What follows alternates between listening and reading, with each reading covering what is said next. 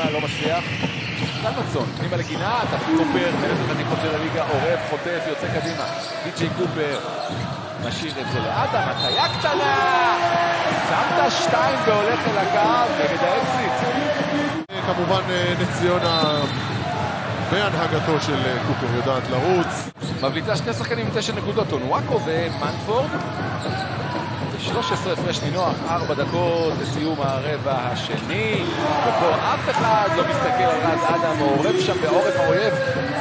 שתי אלה הלכו החוצה ומאז הוא לא בעניינים. עכשיו הוא על הספסל. קופר, הנה רז אדם, חופשי לשלושה, מעדיף לתלוש ולחדור יורו סטפ. זה רז אדם? עושה פעולות יפות. יימנע מהעבירה, תראה. הנה רז אדם עם התלישה. אורלוקו צריך לעמוד. זה חצי לטיפה. שתי זריקות סופר פנויות להפועל תל אביב, לא קרובות אפילו, ואדם הולך לפינה הרחוקה, מניח את השתיים, אתה ראית פה עבירה? 30 נקודות, זייביר מנפורד, באחד המשחקים היותר טובים שלו השנה, אם לא הכי טוב. שתי דקות אחרונות. רז אדם לשתיים רחוק, רז אדם! 21 נקודות.